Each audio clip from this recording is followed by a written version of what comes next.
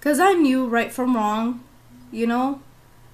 Because my mom would always preach to me, pray for me, but I was just so hard headed. I knew, I, um, I knew a little bit of Jesus, but I would always tell her Christians are hypocrites. God is not real.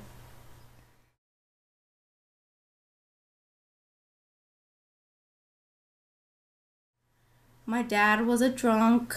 He used to beat up my mom all the time, and I, I would just sit there and watch it. And at the age of five, um, my mom decided to go live in California to get away from my dad. I had some aunts that lived over there, and she accepted God in her life over there. And sh at that time, she had um, my brother and my sister. She was pregnant with my little brother and had my sister. She was probably like two years old, and I was five. But anyways, um, she was there for two years in California, and you know, just learning about the Word of God and then she decided to come back here to Texas and come back with my dad. I guess hoping everything would change and try to make it work with my dad. When she went back, I was like seven or eight. But, anyways, the violence was always there. My dad used to beat us up, kick us for no reason, and it was he was very abusive. And he would used to tell me um, you are not my daughter and you are worthless. So i grew up thinking i had that mindset thinking you're worthless you know? So i started hating my dad so much i hated him for acting the way he would you know and treating my mom the way he did so i grew up thinking i was worthless because of what my dad put in my mind. So I grew up and I remember that at I've, at a very young age I had this ability that I would say this is going to happen to you and it would happen but it's something very diabolical and I grew up at the age of 13, I was just lost. And I was at the age of 13, I had tried cocaine, my first drug. I didn't try weed or cigarettes. I went straight to cocaine and I really liked it. It made me feel good. And my mom would had no control over me whatsoever. Like she would try to control me and you know, I guess try to change me, but I was so out of control. I really was. And I was just at that time when I was 13, I was skipping school, hanging with people I wasn't supposed to, and you know, just dating like older guys. So, at the age of 14, I was really addicted to drugs, to to coke and meth. From from ages 14 to 17, I would do anything for drugs. Anything. I would um sleep with guys to get money or drugs. Um I would do, steal. I would do awful things because that's how addicted I was, and I had no purpose in life. You know, I thought I was just worthless, and that was it for me. You know, but I had no goals in life, and so I just, I really, I did drugs to get away from everything. The problem to, cause I really hated my dad. I hated myself.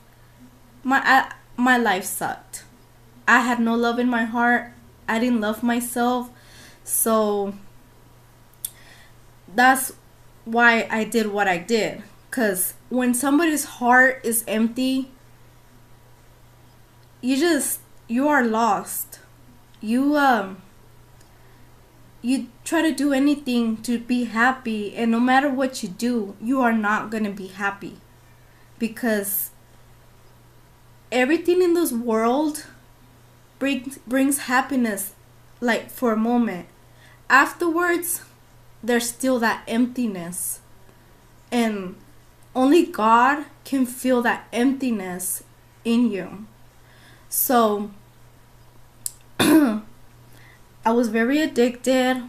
I was on probation, always getting getting in and out out of juvenile and stuff. I was just lost. And I don't I'm just going to keep this story short, but at the age of 17 I got pregnant. I found out I was pregnant. I was 1 month pregnant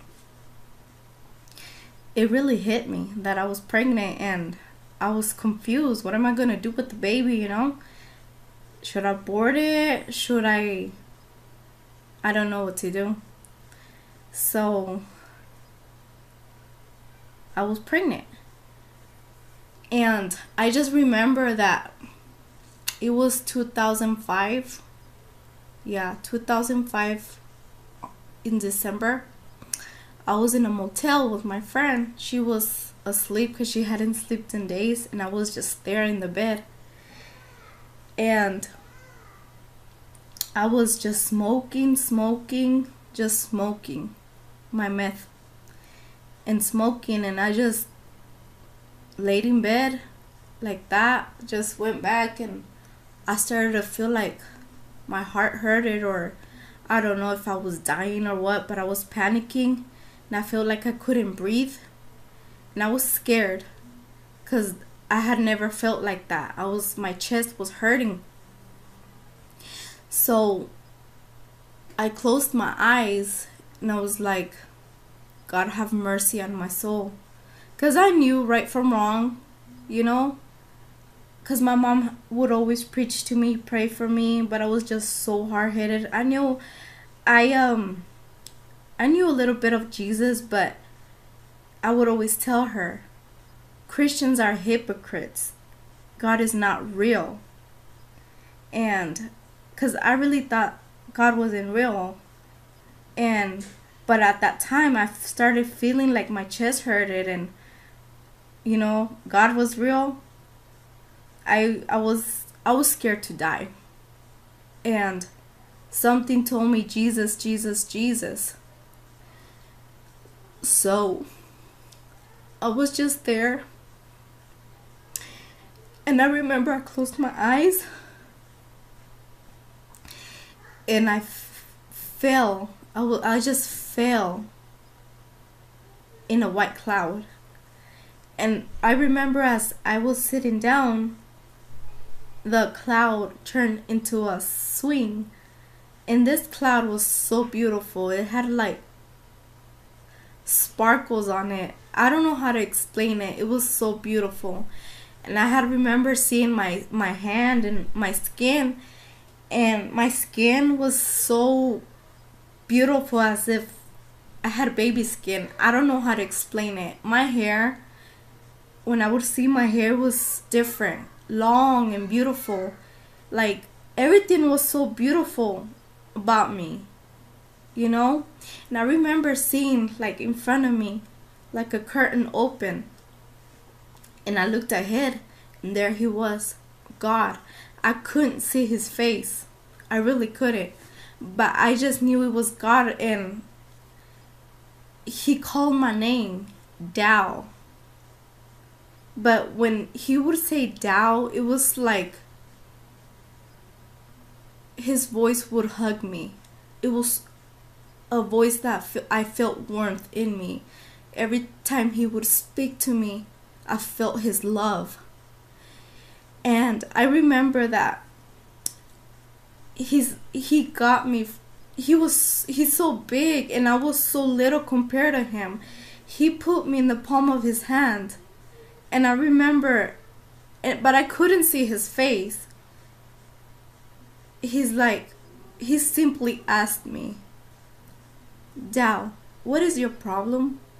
You know, he knew, he knows everything about us.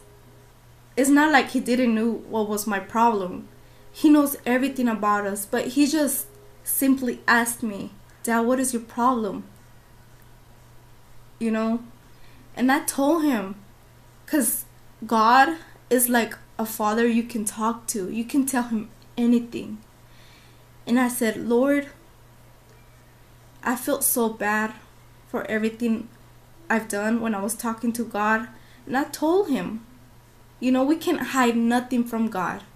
I told him, God, I'm addicted to drugs. I treat everybody badly. I wish I could change my ways, but I just love drugs. I love the way they make me feel. I was just being sincere to God because, you know, I don't know if anybody that's listening to this video, how you feel when you're on drugs, it, you get that good feeling, you know? And I told God, I, I just like the drugs and I wish I could quit. And he simply just said, Dow, let me show you something.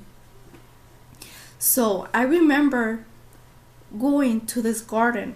Nobody was there. And I went in there and I just saw these beautiful, beautiful mansions. Like I remember the the rooftops on the mansions were made out of diamonds. And uh, there were beautiful colors I have never seen on earth before. And I remember seeing that almost each mansion had its own river and waterfall. It was so beautiful.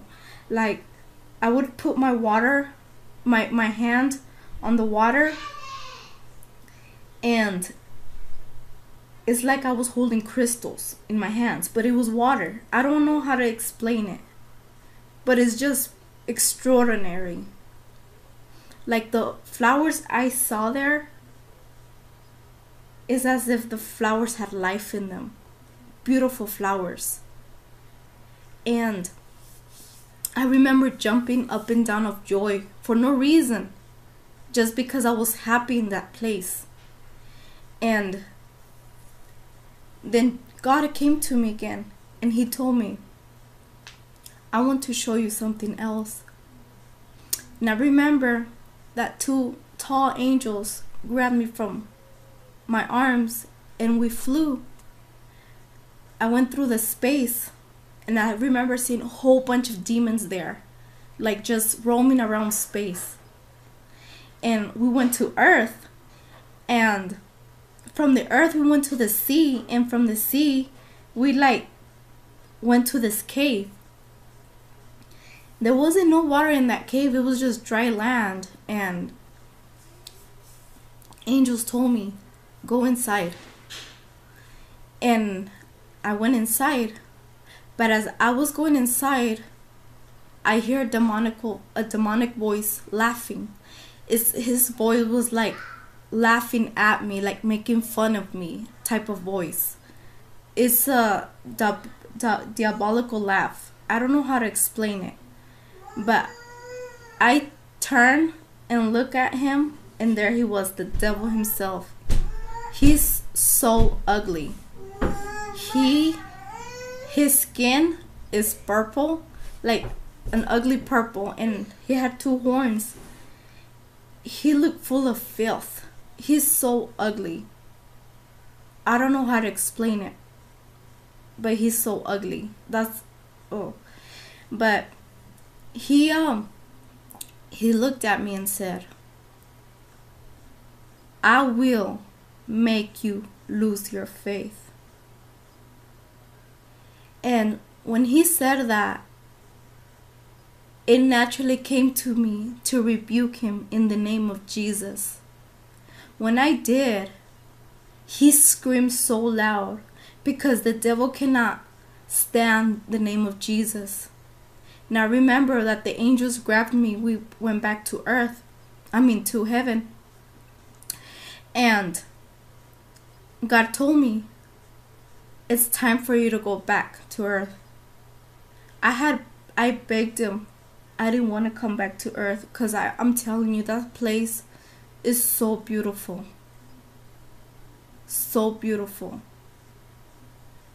He told me, only the brave can inherit inherit the kingdom of God.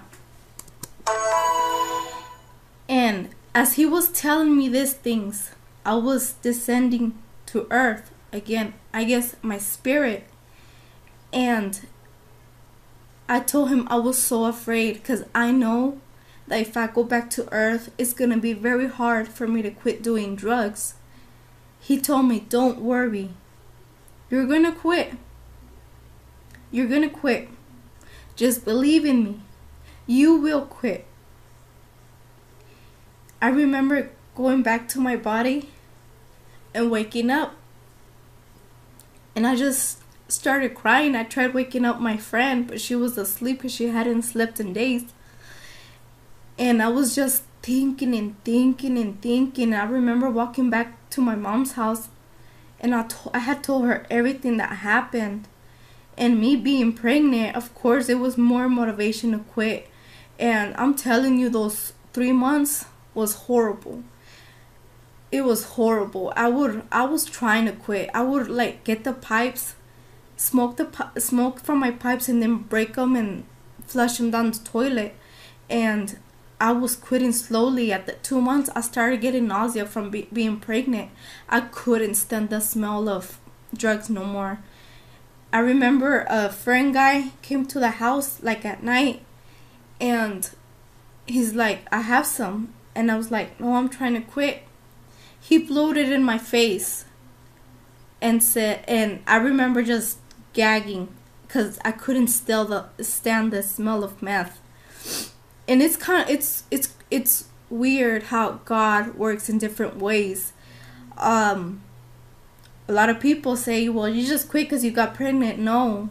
How many people we know that, that still do dr- drugs and are pregnant or just had and still have kids and no god changed me and he i i can't never it's been eight nine years and i haven't touched that pipe thanks to god. And those three months was horrible. When i didn't have meth i would get demon possessed something would come over me and I would just start talking in diabolical tongues, and my mom would just pray for me. I remember being in the bed, and for, I would jump from the bed all the way to the closet as if something would throw me, and slowly God was healing me from my addiction, showing me His power. You know, those demons inside of me really um, hurting my body when I would get possessed and I would feel really weak after I would get possessed by my mom. I'm thankful for my mother because she prayed for me almost every Sunday. She would fast so God can change me. And I would I remember I would sit there and laugh at her like God is not gonna change me. But you know what? God does wonderful things. If you're looking at this video, God is real. He did it in it for me. Um if God wasn't real, I wouldn't be doing this video but God is real God is powerful. You just got to seek Him with all your heart so He can help you. So, in Romans 10 9, it says, if you want to turn your Bibles to Romans 10 9, it says, If you declare with your mouth Jesus is Lord and believe in your heart that God raised Him from the dead, you will be saved. So, if you believe with your heart that God raised him from the dead, you will be saved. I don't know how many of you will get to look at this video or or what, but and I don't even know what race you come from, what religion you come from, what sins you've committed, but I'm telling you right now, God forgives anything you've done, big sin or small sin. You're probably looking at this video and thinking, well, I've never done drugs. I don't need Jesus. My life is right. But I'm telling you right now that we all need Jesus in our heart. You can be the nicest person in the world, always donating money, doing good for others, and this and that, you know? But if you don't have God in your heart, you're lost. You're just as lost as somebody that is doing the worst. You're lost if you don't have God in your heart.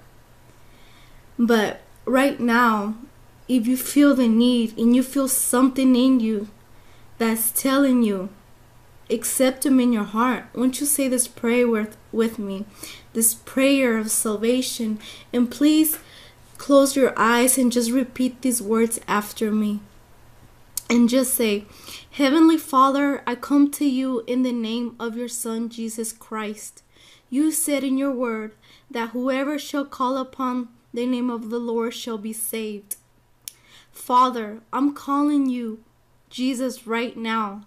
I believe that you died on the cross for my sins, that you were raised from the dead on the third day, and he's li- he's alive right now. Lord Jesus, I'm asking you now, come into my heart. Live your life in me through me. I repent of all my sins and surrender myself totally and completely to you. Heavenly Father, by faith I now confess Jesus Christ as my new Lord. From this day forward, I dedicate my life into serving you. In Jesus' name, amen. If you have done this prayer of salvation, my advice for you is to every day seek God. Pray all the time. Simply when you're just going to the bathroom, just be thankful all the time. Read your Bible. Ask God to help you quit whatever is hard for you to quit. Any sins, big sin, small sin, God, if you call upon His name, He will help you. He will heal you. Because God came. Jesus died in the cross for our sins, and He came to heal us from anything that we have. And I really recommend if you're starting in this new life in Christ to read um the book from Rebecca Brown. He came to set the captives free. This book really helped me understand the spiritual world. Um I read this book and I realized how many things that I had in my life that I needed to get away from. And just read this book, but I'm telling you, if you read this book, pray before you read this book because the devil will attack you like he attacked me trying to read this book and many of you are probably laughing like she's cuckoo in the head. No. The spiritual world is real. Is real. And for many of you think that the spiritual world is not real because you haven't seen nothing in your life i'm telling you it's real. There's a devil and there's a god. You gotta make your choice. You can't have both. You gotta make your choice. It's the end of times. We gotta repent from our sins, do right in front of God, be right with everybody, and God will bless your life abundantly. There will be times where the storms will come, but God is always there all the time. And I'm very blessed. I've been in Christ for nine years already and I've been blessed. I have three beautiful kids and my my husband. And God has blessed me abundantly. All parts of my life, spiritually, financially, everything. So, I hope you like this video and it was a blessing for your life. Goodbye.